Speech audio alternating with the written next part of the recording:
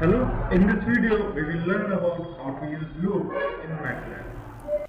Loops in MATLAB. Generally loops are used in our programming language when we want to execute a, small portion of a code again and again. Uh, or uh, suppose we want to run a particular set of program or particular set of instruction uh, again and again till the specific condition is met to stop that uh, uh, particular execution so uh, at those locations at those uh, point of time uh, we generally prefer using the loops. In MATLAB there are two kinds of loop available in MATLAB. First is for loop and the second one is the while loop. So uh, for loop acts uh, when we want uh, a particular set of program particular set of lines of code to execute a specific number of times irrespective of the condition then we generally use the for loop so the syntax of the for loop is for then the available condition uh, or available counter uh, for setting the number of times for setting the how many number of times therefore will execute then statements and then end. Another loop is uh, available in MATLAB that is uh, while loop and while loop runs when uh, a uh, while loop runs until a particular condition is true so the syntax for while loop is while then condition on which this while loop will execute and the line of statements and at the end end so these uh, statements uh, will run continuously until this condition uh, is false so now we will uh, take some examples for based on these two loops and we will write in MATLAB.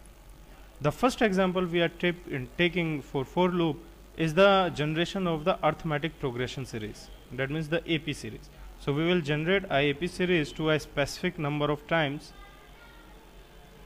We will uh, ask from the user to the first number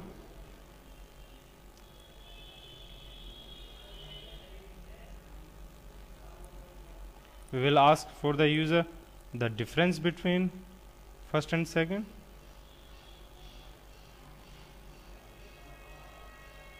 and will ask the user for how many times uh, they he or she wants to generate this series.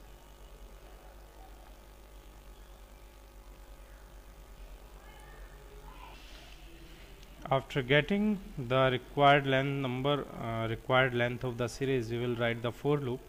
And we have to store uh, the uh, series into a variable. So we will take the variable ap and first number of the variable is number itself. Then we will write a program of we will write a for loop i equals to 1 2 to the length of n and uh, we will take from the second number onwards. So a of p equals to a plus i minus 1 into b and the end. So our program is done. We will clear the command window. And we'll clear all the variables. And then we'll run it. It asks for first number 2 the difference 3 and the length of the series is 5 so our AP series has been generated and it's 2 5 8 11 and 14 and each number has a common difference of 3 so three uh, through this for loop we can easily generate our AP series. Now uh, we will write uh, a different program for mm, demonstrating uh, the working of while loop. We will write a program for factorial. So in the factorial again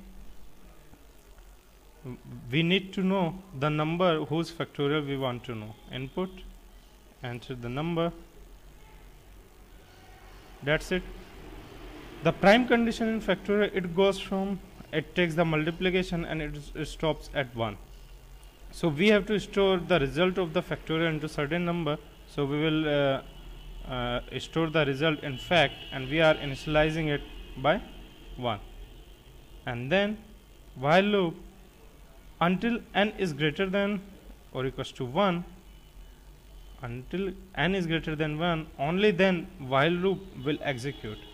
And this fact will be equals to fact into n.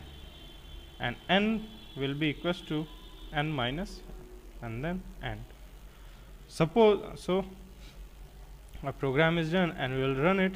So it asks for enter the number we will enter 5 so the fact uh, the store uh, result is stored in fact and we are getting the factorial of the number n. So how this program is working when n is equals to 5 so for first time it is greater than 1 so we are getting fact multiplied by n that means 1 into n fact equals to 5 and now n is initialized by 4 still it is greater than 1 so it will run again and now fact value will be 20 now it's 3 n value is 3 after this line.